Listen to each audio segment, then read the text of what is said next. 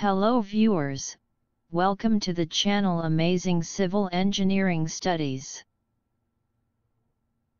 In today's video we are going to discuss about what is the formula for bent up bars, stirrup bars, and main bars.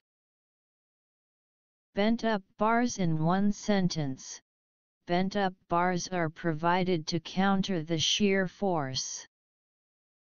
Cranked bars Bent up bars are provided on top of the reinforcement to resist negative bending moment slash hogging at the supports of the slab. To resist the shear force at the supports. Bottom reinforcement resists the positive bending moment sagging at the midspan of the slab. Top reinforcement resists the negative bending moment at the supports of the slab. Cutting length equals clear span of slab plus 2 times anchorage length plus 2 times inclined length 45 degrees. Bend times 4 90 degree bend times 2 from the above formula, LD equals anchorage length or development length D equals diameter of bar D equals height of the bend bar, refer the image. D equals slab thickness, 2 clear cover, diameter of bar.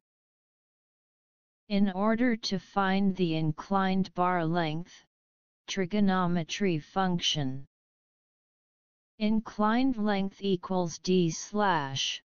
Sin 45 degrees. D slash. Tan 45 degrees. Providing four 45 degree bends at inner side. 1, 2, 3 and 4 and two 90 degree bends. A, B. 45 degree equals 1D. 90 degree equals 2D cutting length equals clear span of slab plus 2 times LD plus 2 times LD D times 4 2D times 2 stirrup bars a reinforcement used to resist shear and diagonal tension stresses in a concrete structural member. Or the term stirrups is usually applied to lateral reinforcement in flexural members and the term ties to lateral reinforcement in vertical compression members. Cutting length of rectangular stirrups Cutting length of stirrup equals 2, A and B, plus 2 numbers of hooks 3 numbers of 90 degree bends 2 numbers of 135 degree bends.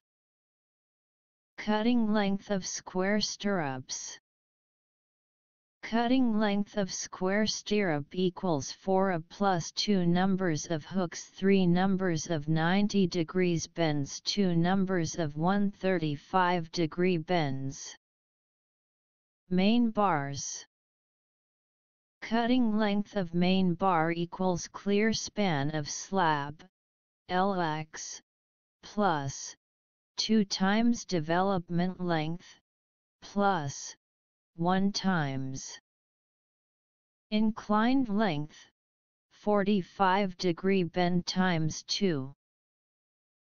To find the length of distribution bar, equals clear span, Ly, plus 2 times development length, LD. Thanks for watching.